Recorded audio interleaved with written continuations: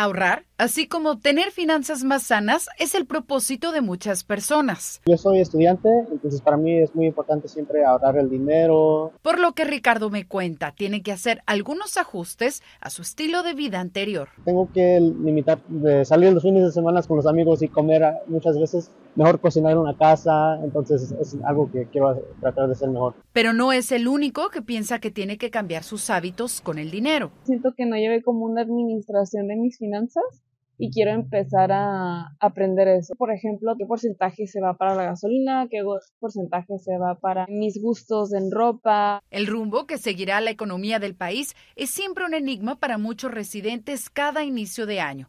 Esto aunado a sucesos como elecciones presidenciales. En general se espera que el 2024 sea un año que tenga un poquito más de tranquilidad comparado a lo que se esperaba la ansiedad del 2023, donde uno decía, es que llega eh, la recesión, ¿qué va a pasar? Si que gana un demócrata o gana un republicano, ¿qué va a pasar con la economía? Todo se va poniendo un poquito más intenso al final, cuando ya estamos llegando para el otoño. Para poder ahorrar, el asesor financiero Guamán aconseja realizar un presupuesto cada nuevo año, ajustándolo a la inflación, además de contribuir a su plan de retiro.